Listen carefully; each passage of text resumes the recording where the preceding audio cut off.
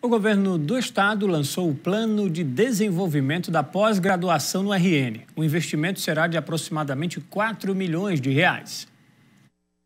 A parceria entre o Estado e a Coordenação de Aperfeiçoamento de Pessoal de Nível Superior, CAPES, vai proporcionar investimento na educação e também consolidar programas universitários em todo o Rio Grande do Norte.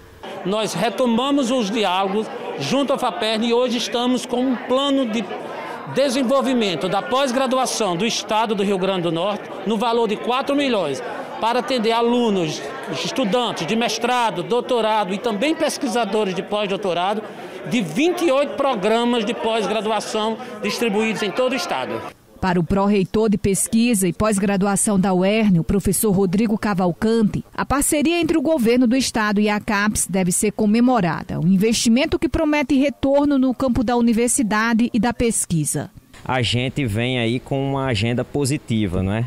Então, trazendo de fato uma boa notícia, que é realmente a assinatura desse importante convênio entre o governo do estado e a CAPES e, por conseguinte, a oportunidade aí de trazer fomento, de trazer recursos para o desenvolvimento da ciência e o desenvolvimento das pós-graduações ligadas às instituições do nosso estado.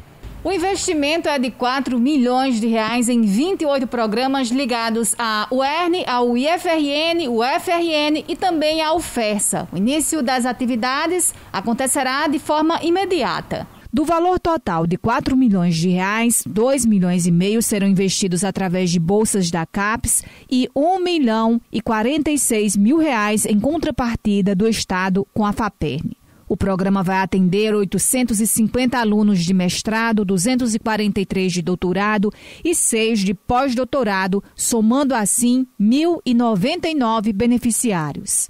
Todas as instituições aí públicas do Rio Grande do Norte serão beneficiadas com isso. A UERN não é diferente. Esse convênio ele vem aí para beneficiar quase metade dos nossos programas de pós-graduação que foram que concorreram ao edital que alcançaram os pré-requisitos, os critérios dentro das áreas prioritárias de desenvolvimento do semiárido e nós estamos aí com a maior perspectiva, não é? Justamente porque serão mais bolsas e serão estratégias de custeio que vão aí auxiliar o desenvolvimento de todas as ações dentro da nossa universidade.